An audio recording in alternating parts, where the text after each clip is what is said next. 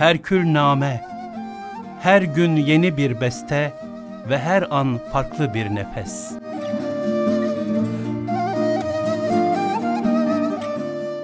Muhterem efendim, tevehhüm ebediyet ne demektir?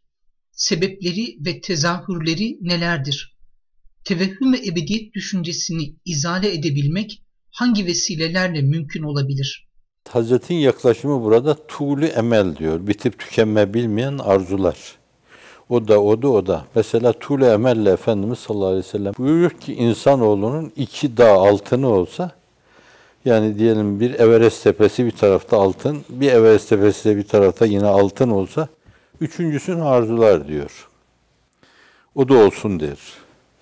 Bin sene ömrü olsa ya bu ömür niye 2000 sene değil ki falan der. 2000 sene olsa neden 3000 sene değildir? Böyle bir tuğle emeli vardır. Upuzun, uzayıp giden emelleri, arzuları vardır.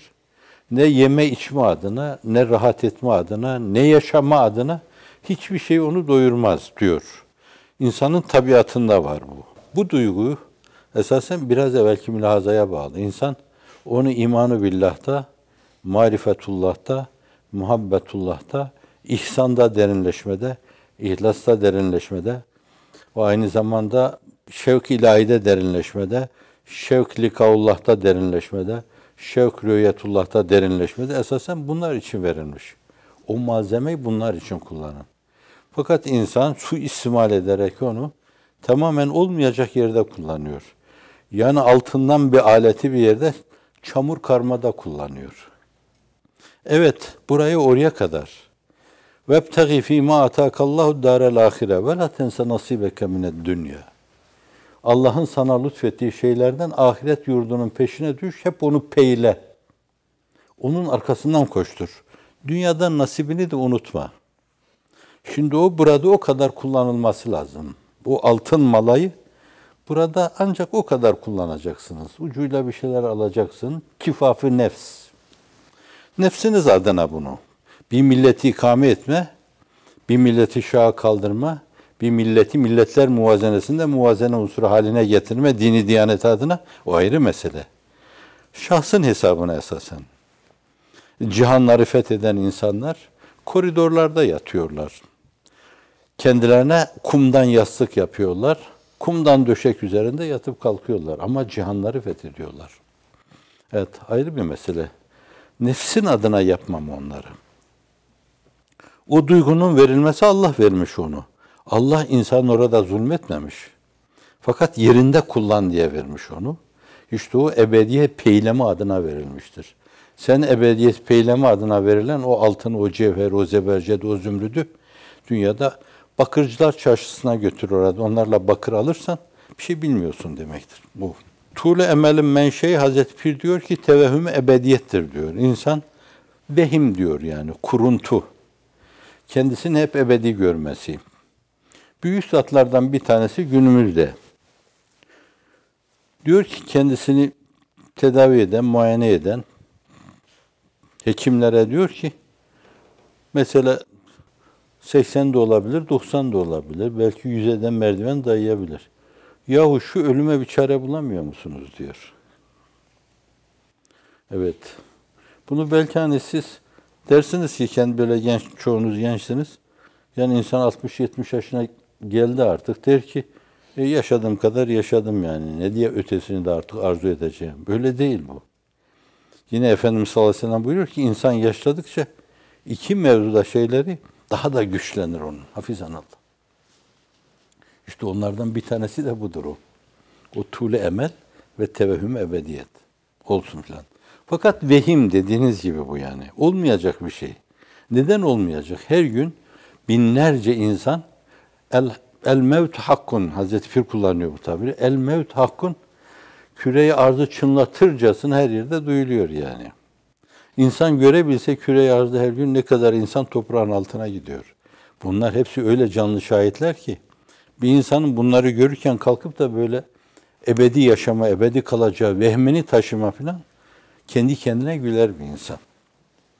Tevehhüm ebediyet. Bu tevehhüm ebediyet hafizan Allah insanda tule emel duygusunu tetikliyor, güçlendiriyor Ve insan ukbayı unutuyor, Rabbini unutuyor, öbür alemleri unutuyor ve dolayısıyla bu fani dünyaya takılıyor. Kur'an-ı Kerim'de bu meseleye temas buyururken kella bel tuhibbunel acile ve tezerunel ahire.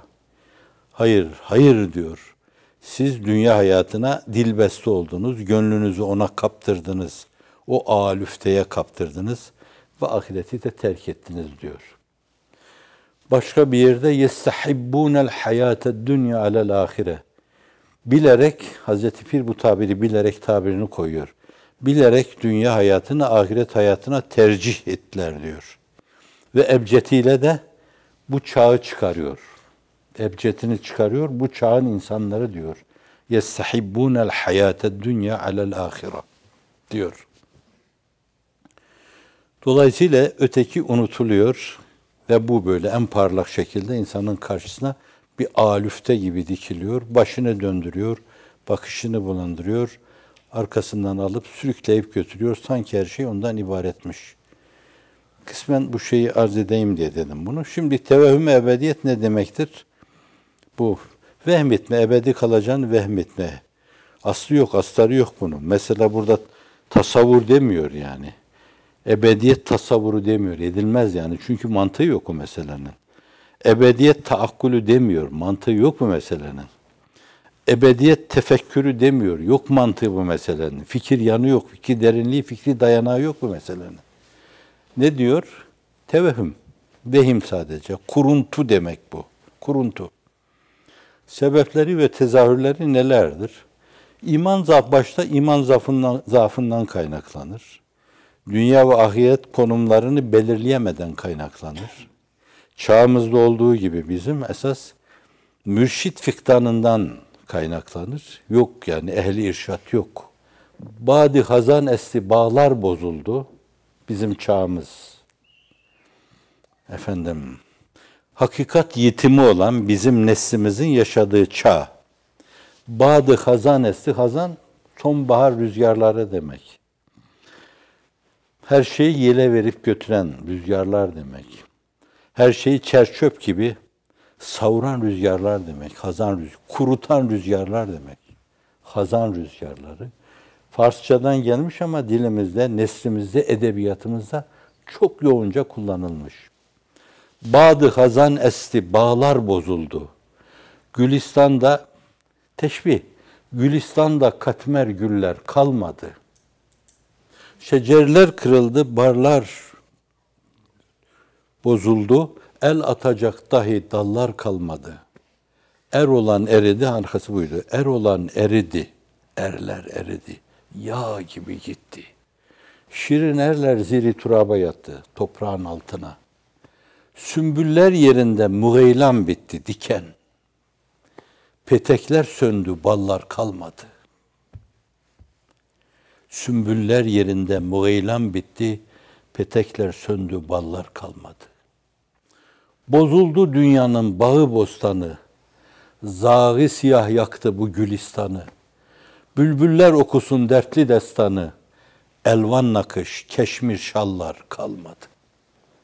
Kalmadı, redifli, upuzun bir şiirinde günümüzün felaketse de nesillerinin destanını serdediyor. Burada yine antiparantez bir şey diyeyim. Çok defa biliyor musunuz? Böyle çok bahtı yüksek, aynı zamanda çok kıymetli, değer ifade eden nesiller de böylesine çöküşlerden sonra olmuştur. Yani sahabi nesli bir cahiliye dönemini toprağa gömmek suretiyle öyle birer kameti vale haline gelmişlerdir. İnsanlığın iftihar tablosu öyle bir döneme dur demiştir. Burası çıkmaz sokak. Bu açıdan da yani bir yönüyle bir risk nesli gibi görünebilirsiniz. Fakat aynı zamanda bunu ganimete çevirebilirsiniz burada. Böyle bir şans da var sizin için. Bu Haristan'a dönmüş, bu bomboş zemini bir bağıştan haline getirebilirsiniz. El verir ki Allah'ın izni inayetiyle onu timar ederek sizden beklenen şeyi ortaya koyasınız. Bir bağ ki görmezse terbiye timar, çalı çırpı sarar, haristan olur. haristan olmuş bu şeyi artık o bağın bağistanları, o gülistanın o gülistanı gülistan haline getirecek bağbanları. O da, bu da Farsçadan gelme bir tabir, çoğul tabiri. Bağbanları yeniden öyle ruh, efsa birer gülistan, dilnişin birer cennet haline getirecekler Allah'ın izni inayetiyle. Onu da ifade edelim. Tevehhüme ebediyet düşüncesini izah edebilmek hangi vesile mümkündür? Eğer bu imandaki zaaftan kaynaklanıyorsa o mevzuda Hazreti Pir'in yolunda gitmek lazım. İmana müteallik eserleri çok okumak lazım. Her yerde bütün meclislerimizi sohbeti cananla canlandırmak lazım. Keşke sevdiğimi sevse kamu halkı cihan, her zaman sohbetimiz sohbeti canan olsa. Otursak, kalksak Allah desek, Resulullah desek sallallahu aleyhi ve sellem. Füzuli şeylere meydan vermesek, çok tekrar ettiğim bir şeyi bir kere daha tekrar edeceğim. Önemli hizmetler belki onlar da size raci oluyor. Gelip size soruyorlar. Nasıl yapalım, nasıl edelim? Dünyanın dört bir yanına açılıyoruz. 150 ülkeye açıldık. Bin küsür okul açma imkanı Allah bahşetti. Bin küsür okul. Şimdi elbette bu meseleler bağıştan böyle karambola gitmekle olmaz yani. Siz arkadaşlarınızla oturursunuz. Milletimizin böyle kanaat önderleriyle oturur görüşürsünüz. Bu işe kendini vermiş adamış. Hakikaten milleti İslamiye'nin böyle perişan derbeder iki büklüm yaşaması karşısında hep kasıklarını tutarak iki büklüm yaşayan insanların düşüncelerine müracaat edersiniz.